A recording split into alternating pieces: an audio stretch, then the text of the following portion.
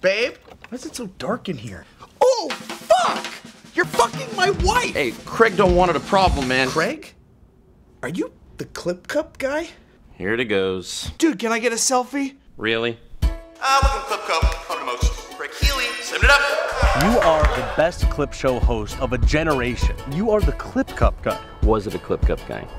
When are you gonna get back to work? Stop being just an Echo Park burnout. You gotta get back out there, man. I mean, it's been a year since the divorce. You have to download Tinder. What did a Tinder? Craig don't have it a Tinder. What did a Tinder? Is that Uber for the dates? Oh, Craig.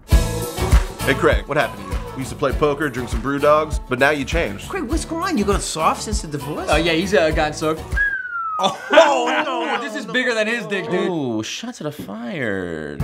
Craig, move it to Bushwick, move back into Echo Park, booze it at girls, smoke it a weed, got a writer's block. Craig, maybe that's the show. What, like a show about it, a comedy that's not at a funny?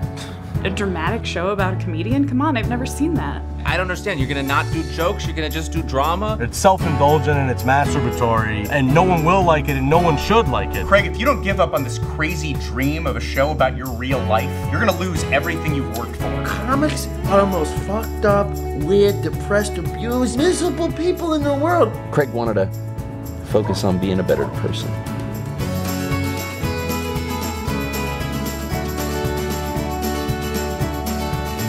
Did you want to talk about my son?